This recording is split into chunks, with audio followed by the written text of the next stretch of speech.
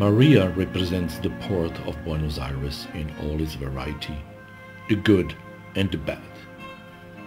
Maria dies but reincarnates every day again, just like the day fades into the night and opposite. Maria is also a metaphor for the tango and represents a lifestyle which is closely linked with the original of this dance and music and lives in every Argentinian soul. Every night the tango dies, together with the whores and pimps and the whole of Buenos Aires. To rise again the next day in all this glory, full of passion and lust of life, but also full of fear and sorrow.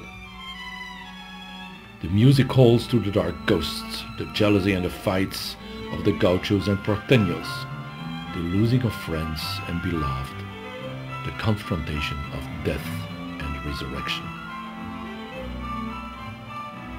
When Maria dances the tango with them, she throws herself in perdition and dies with them.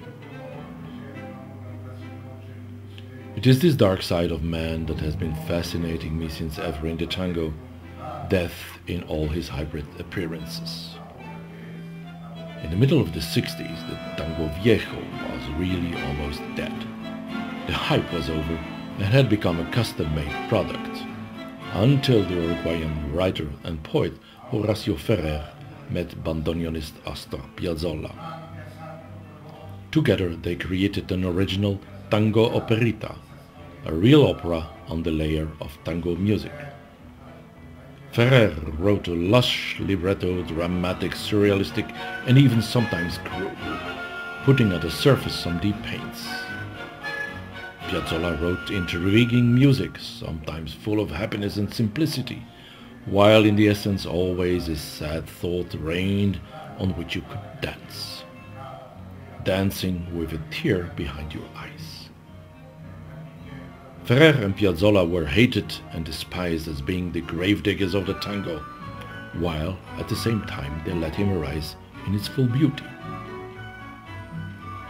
In this production I've tried to evoke the magic and despair of the tango as sharp as possible. Far away still sounds the dango, the drum beat of the African burial procession that was at the birth of the tango, the woman that has to follow the man as a shadow during the eternally repeating square procession. The wild beating of the horse's feet in the white pampas is stylized to unique choreography. Death is present all over, personified by mysterious, omnipresent silent actor. The tormented soul of the people searches her way out through psychiatry and psychoanalysis that had hype in the 60s in Argentina. The symbolism of the voodoo, hidden but present in the cryptic but even sometimes hermetic text of Ferrer, is becoming alive during the Black Masses.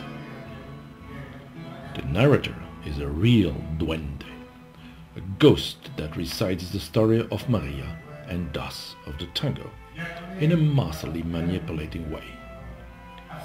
In a visionary trance, he even encounters the three masks of James Ensor from The Masks and the Death, one of my favorite paintings in the showcase of Belgian surrealism and also of the symbolism, both characteristics of the Argentinian soul. So the smile of Maria becomes a desperate grimace, death in all his glory. Only by the voices of the past she discovers some consolation in a bar in Buenos Aires, where the tango, and thus she herself, is dying every night again. All these elements and ingredients have driven me to stage this tango operetta. The tango is not dead, and in Buenos Aires the horse are still cruising the streets. But life is still not giving much hope, and the country is still dying. Friends are fighting each other and families die. The resurrection has to become soon.